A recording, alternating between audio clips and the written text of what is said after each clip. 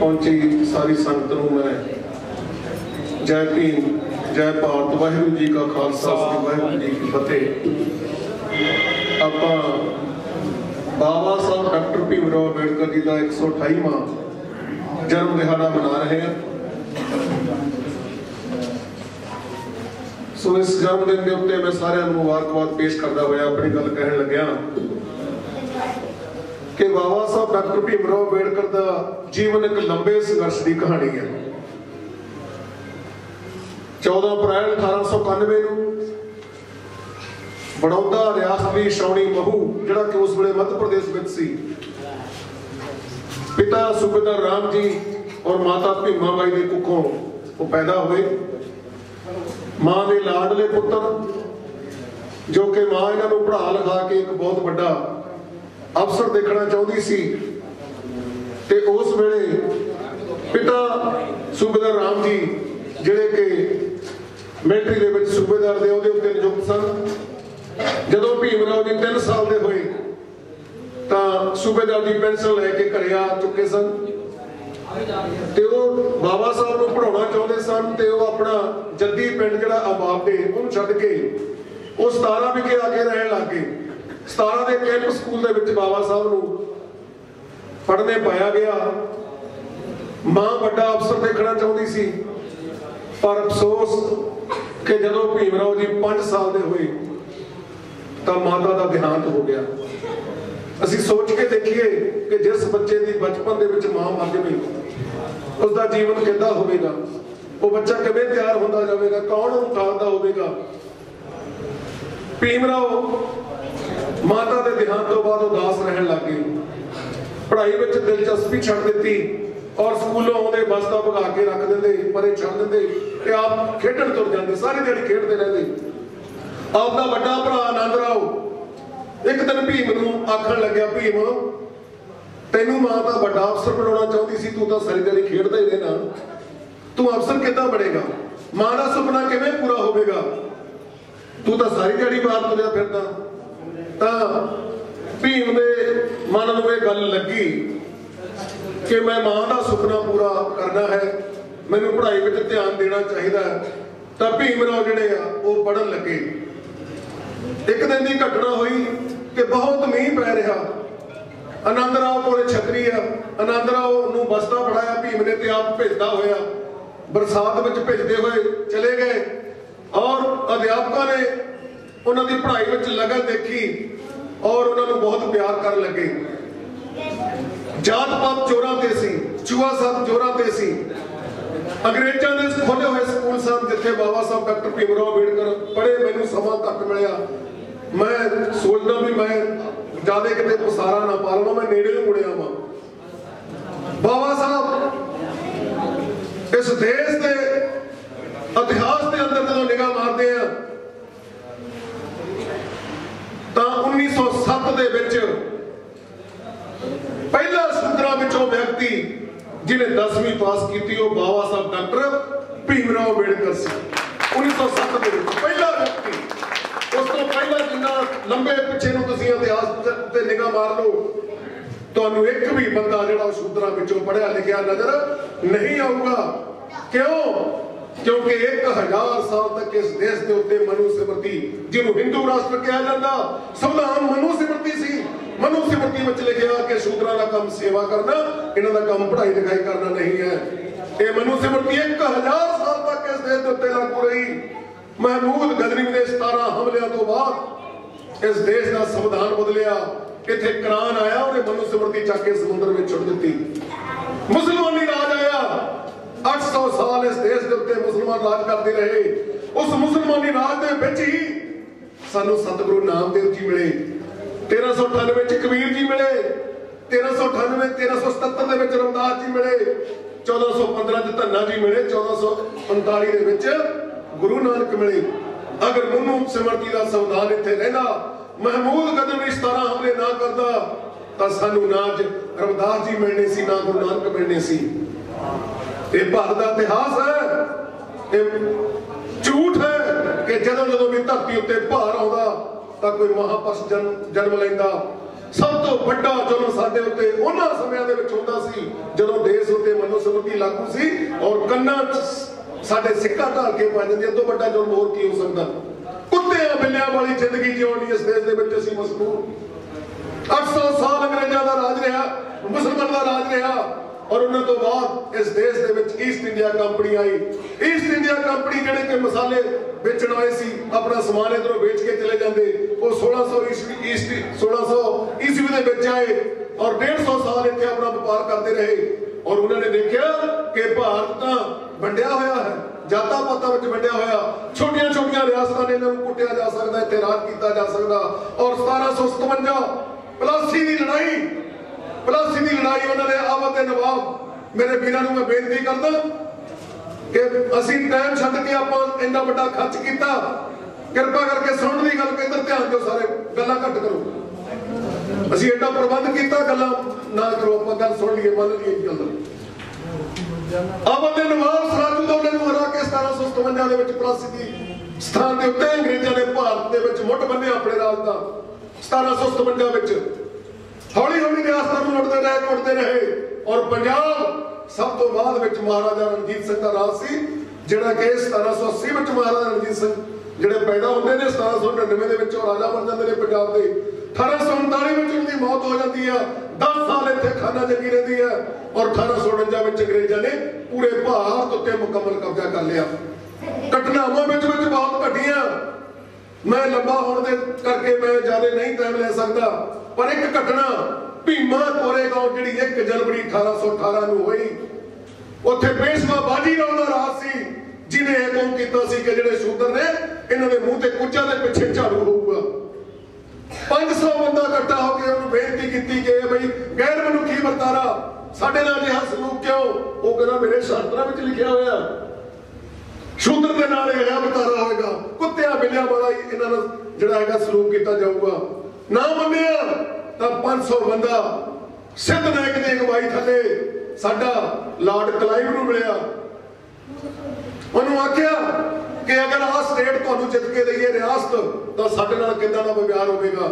ਅੰਗਰੇਜ਼ ਆਖਣ ਲੱਗਿਆ ਕਿ ਬਈ ਇਹ ਕਿਹਾ ਹੈ? ਇਹ ਪਿੱਛੇ ਝਾੜੂ ਤੇ ਮੂੰਹ ਤੇ ਕਿਉਂਕਿ ਅੰਗਰੇਜ਼ਾਂ ਦੇ ਮੁਲਕ ਦੇ ਵਿੱਚ ਆਜ਼ਾਦੀ ਹੈ। ਉੱਥੇ ਮਨੁੱਖ ਨੂੰ ਮਨੁੱਖ ਸਮਝਿਆ ਜਾਂਦਾ। ਉਹ ਕਹਿੰਦੇ ਵੀ ਤੁਹਾਨੂੰ ਸਾਰੀ ਆਜ਼ਾਦੀ ਹੋਵੇਗੀ। ਤਾਂ 500 ਬੰਦੇ ਨੇ ਸਿੱਧ ਨਾਇਕ ਦੀ ਅਗਵਾਈ ਥੱਲੇ ਪੇਸ਼ਵਾ ਬਾਜੀ ਰਾਓ ਦੀ 30000 ਫੌਜ ਉੱਤੇ ਹਮਲਾ ਕਰ ਦਿੱਤਾ ਔਰ 500 ਬੰਦੇ ਨੇ 28000 ਉਹਦਾ ਫੌਜੀ ਮੂਲੀਆਂ ਗਜਰਾ ਵਾਂਗੂ ਵੱਢ ਕੇ ਰੱਖ ਦਿੱਤਾ। ਔਰ ਸਾਡੇ ਕਿੰਨੇ ਮਰੇ? 49 ਬੰਦੇ। ਔਰ 49 ਦੀ ਜਾਤ ਦੇ ਵਿੱਚ ਅੰਗਰੇਜ਼ਾਂ ਨੇ ਉੱਥੇ ਯਾਦਗਾਰਾਂ ਬਣਾਈਆਂ, ਜਿੱਥੇ ਹਰ ਸਾਲ ਆ ਜਿਹੜਾ ਮੇਲਾ ਲੱਗਦਾ, ਔਰ ਇਤਨੀ 200 ਸਾਲ ਉਸ ਘਟਨ ਨੂੰ ਹੋਏ ਸੀ। ਅੰਗਰੇਜ਼ਾਂ ਨੇ ਉਸ ਰਿਆਸਤ ਉੱਤੇ ਕਬਜ਼ਾ ਕੀਤਾ ਔਰ ਸਾਨੂੰ ਥੋੜਾ ਜਿਹਾ ਸੁੱਖ ਦਾ ਸਾਹ ਆਇਆ। ਅੰਗਰੇਜ਼ ਚਾਹੁੰਦਾ ਸੀ ਕਿ ਮੈਂ ਇਹ ਬਹਾਦਰ ਕੌਮ ਆ, ਇਹ ਜੇ ਪੜ੍ਹ ਲਿਖ ਜਾਣਗੇ, ਬਾਈਬਲ ਪੜ੍ਹਨਗੇ, ਤਾਂ ਮੈਂ ਇਹਨਾਂ ਨੂੰ ਅਸਾਈਅਤ ਦੇ ਅਸਾਈ ਬਣਾ ਲਾਂਗਾ ਤਾਂ ਮੇਰੇ ਧਰਮ ਦਾ ਪ੍ਰਚਾਰ ਹੋਵੇਗਾ। ਉਹਨੇ ਸਕੂਲ ਖੋਲੇ ਸਾਡੇ ਵਾਸਤੇ ਸਕੂਲ ਖੁੱਲੇ ਸਾਡੇ ਵਾਸਤੇ ਮਿਲਟਰੀ ਦੇ ਦਰਵਾਜ਼ੇ ਖੁੱਲੇ ਔਰ ਸਾਡੇ ਪੁਰਖੀ ਸੀ ਜਿਹੜੇ ਉਹ ਅੰਗਰੇਜ਼ ਦੀ ਫੌਜ ਵਿੱਚ ਭਰਤੀ ਹੋਣ ਲੱਗੇ। ਔਰ ਬਾਬਾ ਸਾਹਿਬ ਉਹਨਾਂ ਸਕੂਲਾਂ ਵਿੱਚ ਹੀ ਪੜ੍ਹ ਕੇ ਆਏ। ਉਹਨਾਂ ਸਕੂਲਾਂ ਵਿੱਚ ਪੜ੍ਹ ਕੇ 1912 ਦੇ ਵਿੱਚ ਪਹਿਲਾ ਵਿਅਕਤੀ ਜਿਹਨੇ ਬੀਏ ਕੀਤੀ ਸਾਡੇ ਵਿੱਚੋਂ 1915 ਦੇ ਵਿੱਚ ਐਮਏ ਕੀਤੀ। ਔਰ ਕੋਲੰਬੀਆ ਯੂਨੀਵਰਸਿਟੀ ਦੇ ਵਿੱਚ ਪੀਐਚਡੀ ਕਰਨ ਵਾਸਤੇ ਉੱਥੇ ਗਏ। ਸੀਆ ਜੀ ਗੈਕਵਾੜ ਮਹਾਰਾਜਾ ਬੜੌਦਾ, ਉਹਨਾਂ ਤੋਂ ਵਜ਼ੀਫਾ ਲਿਆ। ਔਰ ਵਜ਼ੀਫਾ ਲੈ ਕੇ ਉੱਥੇ ਪੜ੍ਹਦੇ ਰਹੇ ਔਰ ਉੱਥੋਂ ਪੀਐਚਡੀ ਕਰਕੇ ਵਾਪਸ ਆਏ ਔਰ ਮਹਾਰਾਜਾ ਬੜੌਦਾ ਦੇ ਰਾਜ ਦੇ ਵਿੱਚ ਮਿਲਟਰੀ ਸੈਕਟਰੀ ਨਿਯੁਕਤ ਹੋਏ ਡਾਕਟਰ ਅੰਬੇਡਕਰ। 11 ਦਿਨ ਉੱਥੇ ਰਹੇ ਔਰ ਜਿਸ ਪਾਰਸੀ ਸਰਾਂ ਦੇ ਵਿੱਚ ਰਹੇ, ਜਦੋਂ ਸਰਾਂ ਵਾਲਿਆਂ ਨੂੰ ਪਤਾ ਲੱਗਾ ਕਿ ਡਾਕਟਰ ਅੰਬੇਡਕਰ ਸ਼ੂਦਰ ਹੈ ਨੀਵੀਂ ਜਾਤ ਦਾ ਔਰ ਬਾਬਾ ਸਾਹਿਬ ਦਾ ਸਮਾਨ ਚੱਕ ਕੇ ਬਾਹਰ ਸੁੱਟ ਦਿੱਤਾ, ਬਾਬਾ ਸਾਹਿਬ ਨੂੰ ਕੁੱਟ-ਕੁੱਟ ਕੇ ਬਾਹਰ ਕੱਢ ਦਿੱਤਾ, ਔਰ ਬਾਬਾ ਸਾਹਿਬ ਦਰਖਤ ਥੱਲੇ ਬੈਠੇ ਰਹਿੰਦੇ ਆ। ਕਿ ਮੈਂ ਐਡਾ ਪੜ੍ਹਿਆ ਲਿਖਿਆ ਵਿਅਕਤੀ ਇਸ ਰਿਆਸਤ ਦੇ ਵਿੱਚ ਮਿਲਟਰੀ ਸੈਕਟਰੀ ਨਿਯੁਕਤ ਮੇਰੇ ਨਾਲ ਅਜਿਹਾ ਸਲੂਕ ਹੋ ਰਿਹਾ ਜਿਹੜਾ ਸਮਾਜ ਮੇਰਾ ਕੁੱਤਿਆਂ ਬਿੱਲਿਆਂ ਵਾਲੀ ਜ਼ਿੰਦਗੀ ਜਿਉ ਰਿਹਾ। ਝੁੱਗੀਆਂ ਵਿੱਚ ਰਹਿਣ ਲਈ ਮਜਬੂਰ ਆ। ਉਹਨਾਂ ਲੋਕਾਂ ਦਾ ਕੀ ਹਾਲ ਹੁੰਦਾ ਹੋਵੇਗਾ? ਇੱਕ ਦਰਖਤ ਥੱਲੇ ਬੈਠੇ ਡਾਕਟਰ ਅੰਬੇਡਕਰ ਰੋ ਰਹੇ ਨੇ। ਔਰ ਬਰਨ ਕੀਤਾ ਕਿ ਅਗਰ 1917 ਦੀ ਤੇ 18 ਦੀ ਕਹਾਣੀ ਆਏ ਕਿ ਅਗਰ ਮੈਂ ਇਹਨਾਂ ਲੋਕਾਂ ਦੀਆਂ ਗੁਲਾਮੀ ਦੀਆਂ ਜੀਰਾ ਨਾ ਤੋੜ ਸਕਿਆ, ਤਾਂ ਮੈਂ ਆਪਣੇ ਆਪ ਨੂੰ ਗੋਲੀ ਮਾਰ ਕੇ ਮਾਰ ਲਵਾਂਗਾ। ਇਹ ਬਰਨ ਸੀ ਡਾਕਟਰ ਅੰਬੇਡਕਰ ਦਾ। ਔਰ ਰਾਜ ਅੰਗਰੇਜ਼ ਦਾ ਸੀ। ਔਰ ਬਾਬਾ ਸਾਹਿਬ ਮੰਗ ਪੱਤਰ ਮੰਗ ਪੱਤਰ ਦੇਣ ਲੱਗੇ। ਐਜੀਟੇਸ਼ਨ ਸ਼ੁਰੂ ਕੀਤੀ, ਅਖਬਾਰ ਸ਼ੁਰੂ ਕੀਤੇ। ਔਰ ਗੁੰਗਿਆਂ ਦੀ ਆਵਾਜ਼ ਬਣੇ ਡਾਕਟਰ ਅੰਬੇਡਕਰ। ਅੰਗਰੇਜ਼ਾਂ ਨੂੰ ਮਜਬੂਰ ਹੋਣਾ ਪਿਆ ਡਾਕਟਰ ਅੰਬੇਡਕਰ ਦੀ ਗੱਲ ਸੁਣ ਕੇ। ਔਰ ਸਾਈਮਨ ਕਮਿਸ਼ਨ ਭਾਰਤ ਆਇਆ। ਸਾਈਮਨ ਕਮਿਸ਼ਨ 2.5 ਸਾਲ ਇਸ ਦੇਸ਼ ਦੇ ਵਿੱਚ ਬਾਬਾ ਸਾਹਿਬ ਨਾਲ ਲੱਗੇ। ਔਰ ਬਾਬਾ ਸਾਹਿਬ ਨੇ ਹਾਲਾਤ ਦਿਖਾਏ ਕਿ ਤਲਾਅ ਦੇ ਵਿੱਚ ਕੁੱਤਾ ਪਾਣੀ ਪੀ ਸਕਦਾ ਤੇ ਇੱਕ ਸ਼ੂਦਰ ਪਾਣੀ ਨਹੀਂ ਪੀ ਸਕਦਾ। ਆ ਸਾਡੀ ਜ਼ਿੰਦਗੀ ਹੈ। ਔਰ ਜਦੋਂ ਸਾਈਮਨ ਕਮਿਸ਼ਨ ਭਾਰਤ ਆਇਆ, ਤਾਂ ਉਸ ਵੇਲੇ ਦੇ ਜਿਹੜੇ ਲੀਡਰ ਸਨ, ਗਾਂਧੀ, ਲਾਲਾ ਲਾਜਪਤ ਰਾਏ ਇਹਨਾਂ ਨੇ ਗੋ ਬੈਕ ਦੇ ਨਾਰੇ ਲਾਏ ਕਿ ਸਾਈਮਨ ਕਮਿਸ਼ਨ ਵਾਪਸ ਜਾਓ। ਔਰ ਬਾਬਾ ਸਾਹਿਬ ਨੇ ਸਵਾਗਤ ਕੀਤਾ ਸਾਈਮਨ ਕਮਿਸ਼ਨ ਦਾ। 2.5 ਸਾਲ ਇਸ ਦੇਸ਼ ਦੇ ਵਿੱਚ ਰਿਹਾ, ਸਾਰੀ ਰਿਪੋਰਟ ਇਕੱਤਰ ਕੀਤੀ ਔਰ ਜਾ ਕੇ ਇੰਗਲੈਂਡ, ਲੰਡਨ ਵਿੱਚ ਜਾ ਕੇ ਉਹ ਰਿਪੋਰਟ ਪੇਸ਼ ਕੀਤੀ ਤਿੰਨ ਗੋਲਮੈਨ ਕਾਨਫਰੰਸ ਹੋਈਆਂ 1930 31 32 ਔਰ ਤੀਜੀ ਕਾਨਫਰੰਸ ਜਦੋਂ ਹੁੰਦੀ, ਹੋਣ ਜਾ ਰਹੀ ਹੈ, ਡਾਕਟਰ ਅੰਬੇਡਕਰ ਦਾ ਇੱਕ ਪੈਰ ਸਮੁੰਦਰੀ ਜਹਾਜ਼ ਦੇ ਵਿੱਚ ਆ, ਇੱਕ ਪਿੱਛੇ ਆ। ਔਰ ਪਿੱਛੇੋਂ ਡਾਕਟਰ ਅੰਬੇਡਕਰ ਦਾ ਵੱਡਾ ਭਰਾ, ਮੋਢੇ ਤੋਂ ਫੜ ਲੈਂਦਾ ਡਾਕਟਰ ਅੰਬੇਡਕਰ ਨੂੰ ਕਿ ਡਾਕਟਰ ਅੰਬੇਡਕਰ ਕਿੱਥੇ ਜਾ ਰਿਹਾ? ਉਹ ਕਹਿੰਦਾ, ਮੈਂ ਲੰਡਨ ਜਾ ਰਿਹਾ। ਉਹ ਕਹਿੰਦਾ ਵਾਪਸ ਮੁੜਿਆ। ਉਹਦਾ ਕੀ ਹੋ ਗਿਆ? ਕਹਿੰਦਾ ਰਾਜ ਰਤਨ ਮਰ ਗਿਆ। ਡਾਕਟਰ ਅੰਬੇਡਕਰ ਦਾ ਚੌਥਾ ਬੇਟਾ ਰਾਜ ਰਤਨ ਉਸ ਦਿਨ ਚੜ੍ਹਾਈ ਕਰਿਆ, ਜਿਸ ਦਿਨ ਸਾਡੀ ਗੁਲਾਮੀ ਦੀਆਂ ਜੀਨਾਂ ਕੱਟਣ ਵਾਸਤੇ ਡਾਕਟਰ ਅੰਬੇਡਕਰ ਲੰਡਨ ਦੀ ਧਰਤੀ ਤੇ ਜਾ ਰਹੇ ਸੀ। ਚੌਥਾ ਬੇਟਾ ਮਰ ਗਿਆ, ਡਾਕਟਰ ਅੰਬੇਡਕਰ ਸੋਚਦਾ, ਕਿ ਮੈਂ ਪਿੱਛੇ ਜਾਵਾਂ, ਜੇ ਮੈਂ ਪਿੱਛੇ ਮੁੜਿਆ, ਤਾਂ ਮੇਰੇ ਕਰੋੜਾਂ ਰਾਜ ਰਤਨ ਮਰ ਜਾਣਗੇ। ਇਹਨਾਂ ਦੇ ਹੱਕਾਂ ਦੀ ਗੱਲ ਅੱਜ ਉੱਥੇ ਕੌਣ ਕਰੇਗਾ? ਡਾਕਟਰ ਅੰਬੇਡਕਰ ਨੇ ਭਰਾ ਨੂੰ ਕਿਹਾ ਕਿ ਤੁਸੀਂ ਉਸ ਬੇਟੇ ਦਾ ਜਿਹੜਾ ਕ੍ਰਿਮੇਸ਼ਨ ਕਰਦੇ ਹੋ, ਪਰ ਮੈਂ ਤਾਂ ਜਾ ਕੇ ਉੱਥੇ ਹੱਕਾਂ ਦੀ ਗੱਲ ਕਰਾਂਗਾ ਔਰ ਡਾਕਟਰ ਅੰਬੇਡਕਰ ਜੀ ਉੱਥੇ ਗਏ, ਜਹਾਜ਼ ਚੜੇ ਔਰ ਚੜਨ ਤੋਂ ਬਾਅਦ ਉੱਥੇ ਜਾ ਕੇ ਜੋ ਤਕਰੀਰ ਕੀਤੀ ਡਾਕਟਰ ਅੰਬੇਡਕਰ ਨੇ, ਤਾਂ ਉਸ ਹਾਊਸ ਦੀਆਂ ਕੰਧਾਂ ਵੀ ਕੰਬਣ ਲੱਗੀਆਂ। ਅੰਗਰੇਜ਼ ਆ ਜਿਹੜਾ ਚੁੱਕਿਆ, ਉਹਨੇ ਕਿਹਾ ਕਿ ਡਾਕਟਰ ਅੰਬੇਡਕਰ ਮੰਗ ਕੀ ਮੰਗਦਾ? ਔਰ ਕਮਿਊਨਲ ਅਵਾਰਡ ਸਾਨੂੰ ਦਿੱਤਾ ਕਿ ਜਿਨ੍ਹਾਂ ਲੋਕਾਂ ਨੂੰ ਕਲੇ ਤਲਾ ਦੇ ਵਿੱਚ ਪਾਣੀ ਪੀਣ ਦਾ ਅਧਿਕਾਰ ਨਹੀਂ ਸੀ ਅੱਜ ਟੂਟੀਆਂ ਰਾਹੀਂ ਲੋਕਾਂ ਦੇ ਘਰਾਂ ਵਿੱਚ ਪਾਣੀ ਆਉਣ ਲੱਗਿਆ। ਕਿਹਦੀ ਬਦੌਲਤ ਬਾਬਾ ਸਾਹਿਬ ਡਾਕਟਰ ਭੀਮ ਰਾਓ ਅੰਬੇਡਕਰ ਦੀ? ਕਿਸੇ ਦੇਵੀ ਦੇਵਤੇ ਨੇ ਸਾਡੇ ਉੱਤੇ ਕਿਰਪਾ ਨਹੀਂ ਕੀਤੀ। ਕਿਸੇ ਸੰਤ ਬਾਬੇ ਨੇ ਸਾਡੇ ਉੱਤੇ ਕਿਰਪਾ ਨਹੀਂ ਹੋਈ। ਅਗਰ ਕਿਰਪਾ ਹੋਈ ਹੈ, ਤਾਂ ਬਾਬਾ ਸਾਹਿਬ ਡਾਕਟਰ ਭੀਮ ਰਾਓ ਅੰਬੇਡਕਰ ਦੀ ਹੋਈ ਹੈ। ਜਿਨ੍ਹਾਂ ਲੋਕਾਂ ਨੂੰ ਕਦੇ ਸਕੂਲਾਂ ਵਿੱਚ ਜਾਣ ਦਾ ਅਧਿਕਾਰ ਨਹੀਂ ਸੀ, ਜਿਹੜੇ ਲੋਕ ਸਕੂਲਾਂ ਵਿੱਚ ਪੜ੍ਹ ਨਹੀਂ ਸੀ ਜਾ ਸਕਦੇ, ਅੱਜ ਉਹ ਡਾਕਟਰ ਅੰਬੇਡਕਰ ਦੀ ਬਦੌਲਤ ਮਾਸਟਰ ਬਣ ਕੇ ਪੜ੍ਹਾ ਰਹੇ ਨੇ। ਜਿਹੜੇ ਲੋਕ ਕਦੇ ਪੰਜ ਸਰਪੰਚ ਨਹੀਂ ਸੀ ਬਣ ਸਕਦੇ। ਅੱਜ ਉਹ ਐਮਐਲਏ ਮੰਤਰੀ ਬਣ ਕੇ, ਮੁੱਖ ਮੰਤਰੀ ਬਣ ਕੇ ਇਸ ਦੇਸ਼ ਦਾ ਜਿਹੜਾ ਉਹ ਸ਼ਾਸਨ ਚਲਾ ਰਹੇ ਨੇ। ਜਿਹੜੇ ਲੋਕ ਕਦੇ ਅਦਾਲਤ ਵਿੱਚ ਗਵਾਹੀ ਨਹੀਂ ਸੀ ਦੇ ਸਕਦੇ, ਉਹ ਅੱਜ ਜੱਜ ਬਣ ਕੇ ਫੈਸਲੇ ਦੇ ਰਹੇ ਨੇ। ਇਹ ਕਿਵੇਂ ਹੋਇਆ? ਕੋਈ ਕਰਾਮਾਤ ਨਹੀਂ ਹੋਈ। ਇਹ ਡਾਕਟਰ ਅੰਬੇਡਕਰ ਨੇ ਸੰਘਰਸ਼ ਕੀਤਾ, ਕਿਉਂਕਿ ਮੈਂ ਪਹਿਲੀ ਲਾਈਨ ਹੀ ਇਹ ਬੋਲੀ ਸੀ ਕਿ ਡਾਕਟਰ ਅੰਬੇਡਕਰ ਦੇ ਜੀਵਨ ਦੀ ਕਹਾਣੀ ਇੱਕ ਲੰਬੇ ਸੰਘਰਸ਼ ਦੀ ਕਹਾਣੀ ਹੈ। ਪਰ ਸਾਨੂੰ ਯਾਦ ਨਹੀਂ ਡਾਕਟਰ ਅੰਬੇਡਕਰ। ਸਾਨੂੰ ਡਾਕਟਰ ਅੰਬੇਡਕਰ ਯਾਦ ਨਹੀਂ ਹੈ। ਡਾਡਿਆਂ ਨੇ ਕਿਤਾਬਾਂ ਵਿੱਚੋਂ, ਸਿਲੇਬਸਾਂ ਵਿੱਚੋਂ ਡਾਕਟਰ ਅੰਬੇਡਕਰ ਗਾਇਬ ਕਰਤਾ। ਸਾਨੂੰ ਪਤਾ ਨਹੀਂ ਲੱਗਣ ਦਿੱਤਾ ਕਿ ਡਾਕਟਰ ਅੰਬੇਡਕਰ ਦੀ ਬਦੌਲਤੀ ਆ, ਸਾਰਾ ਕੁਝ ਇਸ ਦੇਸ਼ ਦੇ ਵਿੱਚ ਹੋਇਆ ਹੈ। ਮੈਂ ਜ਼ਿਆਦਾ ਸਮਾਂ ਨਾ ਲਵਾਂ। ਮੈਂ ਇੱਕੋ ਹੀ ਗੱਲ ਤੁਹਾਡੇ ਸਾਹਮਣੇ ਰੱਖਣੀ ਆ। ਆ ਬਿਜਲੀ ਲੱਗ ਰਹੀ ਹੈ ਨਾ ਬਿਜਲੀ। ਭਾਖੜਾ ਡੈਮ ਬਣਿਆ, ਬਹੁਤ ਜਿੰਨੇ ਵੀ ਡੈਮ ਬਣੇ ਨੇ, ਇਹ ਸਾਰੀ ਪਲੈਨਿੰਗ ਡਾਕਟਰ ਅੰਬੇਡਕਰ ਦੀ ਸੀ। ਤੁਹਾਡੀਆਂ ਜੇਬਾਂ ਦੇ ਵਿੱਚ ਨੋਟ ਨੇ। ਇਹਨੂੰ ਛਾਪਣ ਵਾਲੀ RBI reserve bank of India ਬਣਾਉਣ ਵਾਲਾ ਡਾਕਟਰ ਅੰਬੇਡਕਰ ਹੈ। ਜਿੰਨੇ ਮਜ਼ਦੂਰ ਵਰਗ ਬੈਠਿਆ ਕਿ ਸਾਨੂੰ ਕੀ ਫਾਇਦਾ ਰਿਜ਼ਰਵੇਸ਼ਨ ਦਾ? ਉਹ ਤੁਹਾਨੂੰ 16 16 ਘੰਟੇ ਕੰਮ ਕਰਨਾ ਪੈਂਦਾ ਸੀ। ਬੰਦੂਆ ਮਜ਼ਦੂਰ ਦੇ ਤੌਰ ਤੇ ਡਾਕਟਰ ਅੰਬੇਡਕਰ ਨੇ ਜਦੋਂ ਲੇਬਰ ਮਿਨਿਸਟਰ ਬਣੇ, ਤਾਂ ਤੁਹਾਡੇ ਵਾਸਤੇ 8 ਘੰਟਿਆਂ ਦਾ ਪ੍ਰਾਵਧਨ ਕੀਤਾ ਕਿ 8 ਘੰਟੇ ਤੋਂ ਵੱਧ ਕੋਈ ਕੰਮ ਤੁਹਾਡੇ ਕੋਲੋਂ ਨਹੀਂ ਲੈ ਸਕਦਾ। ਇਹ ਇਹ ਕਿਹਨੇ ਕੀਤਾ। ਅੱਜ ਜਸਵੀਰ ਸਿੰਘ ਖੜਾ। ਕਈ ਵਾਰੀ ਮੈਂ ਅਸੀਂ ਜਦੋਂ ਪਿੰਡਾਂ ਵਿੱਚ ਬੋਲਦੇ ਆ ਨਾ ਜਾ ਕੇ, ਤਾਂ ਮਜ਼ਦੂਰ ਵਰਗ ਕਹਿੰਦੇ, ਸਾਨੂੰ ਰਿਜ਼ਰਵੇਸ਼ਨ ਦਾ ਕੀ ਫਾਇਦਾ? ਇਹ ਇੱਕ ਦਿਹਾੜੀਦਾਰ ਮਜ਼ਦੂਰ ਆ। ਇਹਦੀ ਕੁੜੀ ਨੇ ਵੀ ਬੀਟੈਕ ਕੀਤੀ ਆ। ਮੇਰੇ ਮੁੰਡੇ ਨੇ ਵੀ ਉਹੀ ਬੀਟੈਕ ਕੀਤੀ ਆ। ਮੈਂ 6 ਮਹੀਨਿਆਂ ਦੀ 45000 ਫੀਸ ਦਿੰਦਾ ਸੀ 6 ਮਹੀਨਿਆਂ ਦੀ। ਤੂੰ ਕਿੰਨੀ ਦਿੰਦਾ ਸੀ ਬਈ? 2000 ਰੁਪਇਆ 6 ਮਹੀਨਿਆਂ ਦਾ। ਇਹ ਆਪਣਾ ਸਰਟੀਫਿਕੇਟ ਮੂਰੇ ਕਰਦਾ ਸੀ। ਤਾਂ ਮੇਰੀ ਆਮਦਨ ਵੱਧ ਹੋਣ ਕਰਕੇ ਮੇਰੀ 45000 ਲੱਗਦੀ ਸੀ ਫੀਸ 6 ਮਹੀਨਿਆਂ ਦੀ ਤੇ ਇਹ ਦਿਹਾੜੀਦਾਰ ਮਜ਼ਦੂਰਾਂ ਨੂੰ ਵੀ ਗੱਲ ਕਹਿਣੀ ਚਾਹੁੰਦਾ ਕਿ ਅਗਰ ਤੁਹਾਡੇ ਬੱਚੇ ਪੜ ਰਹੇ ਨੇ, ਤੁਹਾਡੀਆਂ ਫੀਸਾਂ ਮਾਫ ਨੇ, ਇਹ ਭਾਰਤੀ ਸੰਵਿਧਾਨ ਕਰਕੇ ਹੋਇਆ ਹੈ। ਅਗਰ ਭਾਰਤੀ ਸੰਵਿਧਾਨ ਨੇ ਕੋਈ ਮੌਕਾ ਡਾਕਟਰ ਅੰਬੇਡਕਰ ਨੂੰ ਮਾਫ। ਮਿਲਦਾ ਇਹ ਦੁਨੀਆ ਮੰਦੀ ਜੋਰਾਂ ਨੂੰ, ਇੱਥੇ ਕੋਈ ਨਾ ਪੁੱਛੇ ਕਮਜ਼ੋਰਾਂ ਨੂੰ, ਸਦੀਆਂ ਦੇ ਸੁੱਤੇ ਲੋਕਾਂ ਨੂੰ ਜੇ ਠੋਕਰ ਮਾਰ ਜਗਾਉਂਦਾ ਨਾ ਇਹ ਕੌਮ ਖਤਮ ਹੋ ਜਾਣੀ ਸੀ ਬਾਬਾ ਸਾਹਿਬ ਦੁਨੀਆ ਤੇ। ਉਹਦਾ ਬਾਬਾ ਸਾਹਿਬ ਦੁਨੀਆ ਤੇ ਉਹਦਾ ਸੋ ਮੈਂ ਇੰਨੀਆਂ ਕੀ ਬੇਨਤੀਆਂ ਕਰਦਾ ਹੋਇਆ। ਮੈਂ ਮੈਂ ਖਾਸ ਕਰ ਪਹਿਲਾਂ ਮੇਰੇ ਤੋਂ ਮੇਰੇ ਵੱਡੇ ਵੀਰ ਅਮਨਦੀਪ ਆ ਜਿਹੜੇ ਉਹ ਉਹ ਕਰ ਗਏ ਬਈ ਜੇ ਸਾਡਾ ਕੁਝ ਬਣਨਾ, ਜੇ ਕੌਮ ਦੇ ਵਿੱਚ ਕੋਈ ਸਾਡੀ ਤਰੱਕੀ ਦਾ ਵਿਕਾਸ ਹੋਣਾ, ਤਾਂ ਜਿੰਨਾ ਚਿਰ ਸਾਡੇ ਬੱਚੇ ਬੱਚੀਆਂ ਨਹੀਂ ਪੜ੍ਹਦੇ, ਜਿੰਨਾ ਚਿਰ ਅਸੀਂ ਉਹਨਾਂ ਨੂੰ ਸਕੂਲਾਂ ਵਿੱਚ ਨਹੀਂ ਲੈ ਕੇ ਜਾਂਦੇ ਉਹਨੇ ਚਿਰ ਸਾਡਾ ਕੁਝ ਵੀ ਨਹੀਂ ਬਣਨਾ ਭਾਵੇਂ ਜਿੰਨੇ ਮਰਜ਼ੀ ਢੋਲਕੀਆਂ ਚਮੜੇ ਕੁੱਟੀ ਜਾਓ। ਜਿੰਨੇ ਮਰਜ਼ੀ ਸਾਰਾ ਸੰਦਾਂ ਤੇ ਅਸੀਂ ਧੱਕੇ ਖਾਈ ਜਾਈਏ, ਸਾਡਾ ਕੁਝ ਵੀ ਬਣਨ ਵਾਲਾ ਨਹੀਂ ਹੈ। ਹੁਣ ਸਮਾਂ ਨਹੀਂ ਹੈ।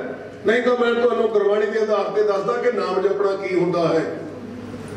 ਕਿਉਂਕਿ ਅਸੀਂ ਤਰ੍ਹਾਂ ਤਰ੍ਹਾਂ ਦੇ ਸਾਰਾ ਸੰਤਾਂ ਬਾਬਿਆਂ ਕੋਲ ਜਾ ਕੇ ਟਾਈਮ ਖਰਾਬ ਕਰਦੇ ਆ।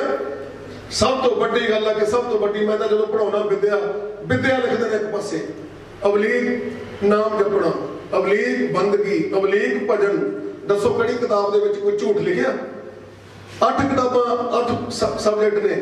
ਅੱਠਾਂ ਕੱਲਾ ਕੱਲਾ ਟੀਚਰ ਆ ਕੇ ਪੜਾਉਂਦਾ ਕਿਹੜੀ ਕਿਤਾਬ ਦੇ ਵਿੱਚ ਇਹ ਲਿਖਿਆ ਵੀ ਬੱਚਿਓ ਤੁਸੀਂ ਗਾਲਾਂ ਕੱਢੋ? ਕਿਹੜੀ ਕਿਤਾਬ 'ਚ ਲਿਖਿਆ ਵੀ ਜਾ ਕੇ ਮਾਤਾ ਪਿਤਾ ਦੀ ਆਗਿਆ ਦਾ ਪਾਲਣ ਕਰੋ? ਜਦੋਂ ਬੱਚੇ ਕੋਈ ਪ੍ਰਸ਼ਨ ਯਾਦ ਕਰਦੇ ਆ ਟੀਚਰ ਪੜਾਉਂਦਾ ਕੀ ਉਹ ਸਤਸੰਗ ਆ? ਸਤਸੰਗ ਕਰਦੇ ਆ, ਬੱਚੇ ਨਾਮ ਜਪਦੇ ਆ, ਭਜਨ ਕਰਦੇ ਆ, ਹੋਰ ਕੀ ਆ ਉਹ? ਇਸ ਕਰਕੇ ਆਪਣੇ ਬੱਚਿਆਂ ਨੂੰ ਪੜਾਓ ਹੋਰ ਕਿਤੇ ਜਾਣਾ ਛੱਡ ਦਿਓ। ਸਭ ਤੋਂ ਇੱਕ ਜੇ ਬੱਚੇ ਜੰਮੇ ਨੇ ਤਾਂ ਹਰ ਮਾਂ-ਬਾਪ ਦਾ ਫਰਜ਼ ਬਣਦਾ ਕਿ ਅਸੀਂ ਚੰਗੀ ਜ਼ਿੰਦਗੀ ਆਪਣੇ ਬੱਚਿਆਂ ਨੂੰ ਸੁਪਨਾ ਲਾਓ ਕਿ ਜਿਹੜਾ ਬੱਚਾ ਪੈਦਾ ਹੋਇਆ ਐਸਡੀਐਮ ਬਣੇ ਡੀਸੀ ਬਣੇ, ਇਹ ਬੱਚਾ ਵਿਦਵਾਨ ਬਣੇ, ਚੰਗੇ ਚੰਗੇ ਅਹੁਦਿਆਂ ਤੇ ਜਾਵੇ ਇਦਾਂ ਦਾ ਸੁਪਨਾ ਲੈ ਕੇ ਟਾਈਮ ਜਿਹੜਾ ਵੇਸਟ ਕਰਨ ਦੀ ਬਜਾਏ ਕਿਤੇ ਜਾ ਕੇ ਹੋਰ ਨਾਮ ਜਪਣ ਦੇ ਢੰਗ ਤਰੀਕੇ ਵੱਖ-ਵੱਖ ਜਿਹੜੇ ਸਿੱਖ ਕੇ ਤੁਸੀਂ ਟਾਈਮ ਖਰਾਬ ਕਰਦੇ ਹੋ ਛੱਡ ਦਿਓ। ਸਾਡੇ ਵਾਸਤੇ ਕਿਸੇ ਨੇ ਕੁਝ ਨਹੀਂ ਕੀਤਾ। ਹਜ਼ਾਰਾਂ ਸਾਧ ਸੰਤ ਇੱਥੇ ਆਏ, ਧੂੜਾ ਲਾ ਕੇ ਚਲੇ ਗਏ। ਅਗਰ ਕੀਤਾ ਤਾਂ ਟਾਈ ਵਾਲੇ ਬਾਬੇ ਨੇ ਸੰਤ ਨੇ ਕੀਤਾ, ਸਾਡਾ ਸਭ ਕੁਝ ਕੀਤਾ। ਇਹ ਬਦੌਲਤ ਅਸੀਂ ਅੱਜ ਬੋਲ ਰਹੇ ਹਾਂ ਜੇ ਨਾ ਲੈ ਕੇ ਜਾਂਦਾ, ਤਾਂ ਮੈਂ ਵੀ ਕਿਤੇ ਧੱਕੇ ਖਾਂਦਾ ਹੁੰਦਾ। ਸੋ ਮੈਂ ਇੰਨੀਆਂ ਜੀ ਬੇਨਤੀਆਂ ਕਰਦਾ ਹੋਇਆ, ਦੁਬਾਰਾ ਫਿਰ ਅਜਾ ਲੈਂਦਾ ਹੋਇਆ। ਜੈ ਭੀਮ, ਜੈ ਭਾਰਤ, ਵਾਹਿਗੁਰੂ ਜੀ ਕਾ ਖਾਲਸਾ, ਸ੍ਰੀ ਵਾਹਿਗੁਰੂ ਜੀ ਕੀ ਫਤਿਹ।